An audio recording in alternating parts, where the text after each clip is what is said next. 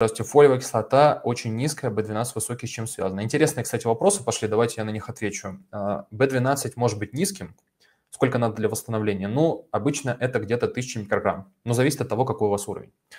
Что касается фолиевой кислоты низкой, а B12 высоком, э, такое бывает часто при дисбиозе, как вариант, когда B12 растет из-за того, что его вырабатывает активная микробиота. Он всасывается в кишечник, ну, из кишечника попадает в кровь.